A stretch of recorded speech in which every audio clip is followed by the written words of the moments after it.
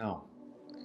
Não precisa de nenhum artigo científico para mostrar o quanto as pessoas perderam saúde e qualidade de vida durante a pandemia. É só olhar ao teu redor. Mais ansiedade, mais estresse, depressão, problemas com sono, alterações no ciclo circadiano e, claro, o ganho de peso da nossa população. Mas será que esses problemas afetaram apenas os nossos pacientes durante a pandemia? Mesmo com a possibilidade de atendimentos online, muitos nutricionistas tiveram uma grande redução no seu número de atendimentos. Alguns tiveram maior dificuldade de se adaptar a essa nova forma de atender. Outros até se adaptaram, mas não tiveram a procura que gostariam. É. Foram momentos de tensão para a nossa classe. A ansiedade bateu, a insegurança financeira pela falta de pacientes. Muitos até fecharam seus consultórios.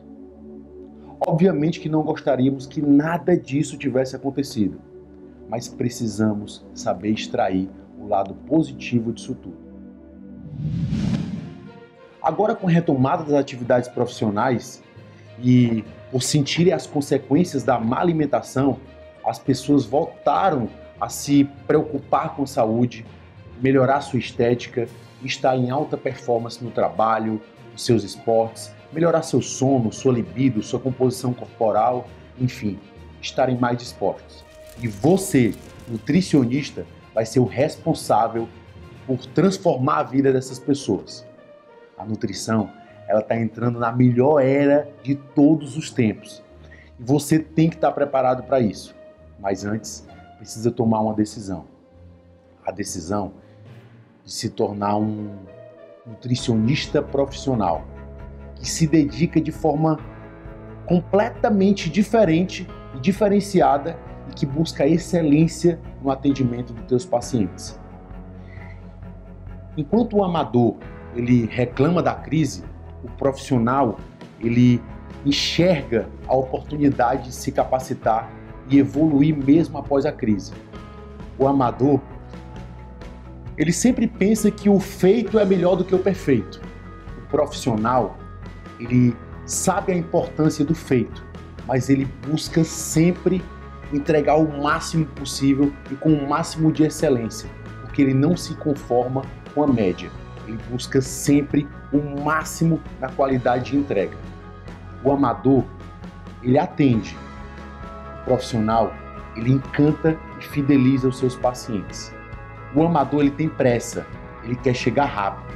O profissional, ele quer chegar longe. E por isso, ele se cerca de pessoas que têm o mesmo propósito que ele. Pessoas que pessoas que querem fazer história, que querem levar a nutrição para um patamar ainda mais elevado, que vão seguros ali realizar diariamente seus atendimentos e que geram de fato resultados incríveis e transformadores na vida dos seus pacientes. E é por causa desse nível de excelência que eles recebem muitas indicações que possuem a sua agenda lotada. E eu entendo que talvez tu ainda não se sinta um profissional ou ainda não tenha uma agenda lotada. Tá, tá tudo bem. Até porque se tornar um profissional é uma construção. Mas para isso, muito mais do que boa intenção ou força de vontade, tu precisa estar direcionado na sua trajetória. Acredite.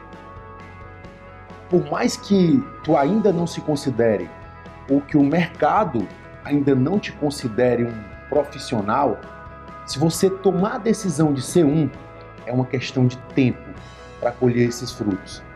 E aí eu te pergunto: já tomou a tua decisão? Amador ou nutricionista profissional?